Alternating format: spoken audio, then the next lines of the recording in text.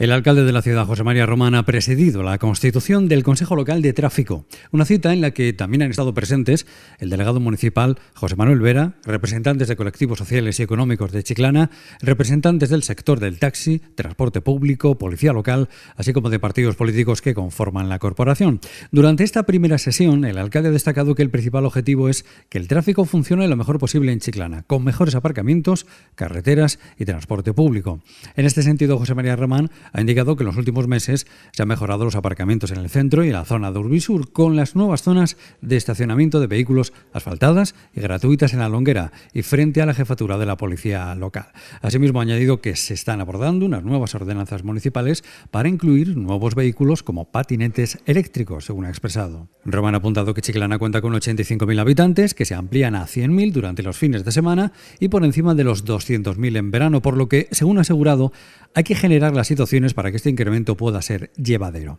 Por otro lado, el alcalde ha indicado que se debe estudiar la conveniencia de poner vías de un solo sentido, incrementando el número de aparcamientos en las calles, así como nuevas salidas desde la zona de la costa. Unas medidas que se unen a las ya tomadas de creación de nuevas glorietas en las carreteras de las lagunas, Molino Viejo y carretera de Santipetri, así como la ampliación con el tercer carril de acceso al poblado Almadravero, según ha indicado José María Román, quien ha añadido que también hay que abordar la posibilidad de modificar los carriles bici donde ya existen, de forma que los dos sentidos se encuentren en una misma zona de la carretera en vez de un sentido a cada lado de la vía. También ha citado el carril menos 30, que ya se encuentra en el proyecto de la reconversión de la carretera de Molino Viejo, de forma que en esta vía habrá dos carriles para mayor velocidad y otros dos carriles, uno a cada sentido, para menos de 30 km por hora, que podrá ser utilizado también por ciclomotores, bicicletas, etc.